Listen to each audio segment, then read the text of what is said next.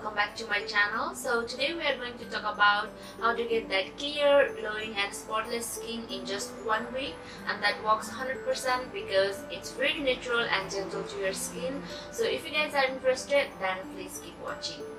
I want to talk about the cleansing. And it's very important to remove your old makeup and clean your face before you go to bed so what I do is I take my 2 to 3 pump of cleansing milk and lather into my finger and massage into my face in a circular motion for about 20 to 30 seconds and wipe it off quickly before my skin absorbs any makeup or dirt. And again I repeat the same process to make sure my skin is perfectly clean. So after that, go ahead and scrub your face. I like to scrub 2 to 3 times in a week to avoid that dullness and dead skin cell from my skin. So step number 2 is toner. Here is my very own apple cider vinegar toner. This is my DIY apple cider vinegar toner.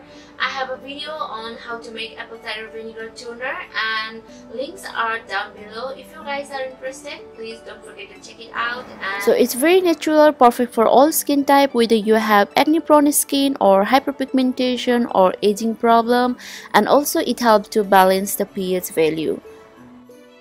Step number 3 is marks.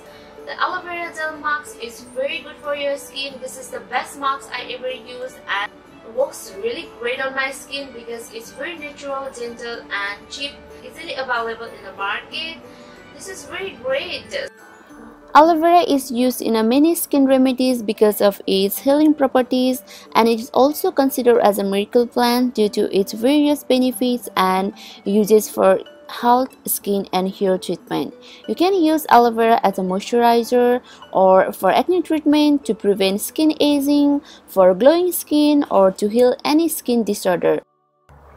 And I have been using it as a mask every single day. So what I do is I apply thick layer of aloe vera gel and I keep it in for about 20-25 minutes on my face and wash it off with room temperature water.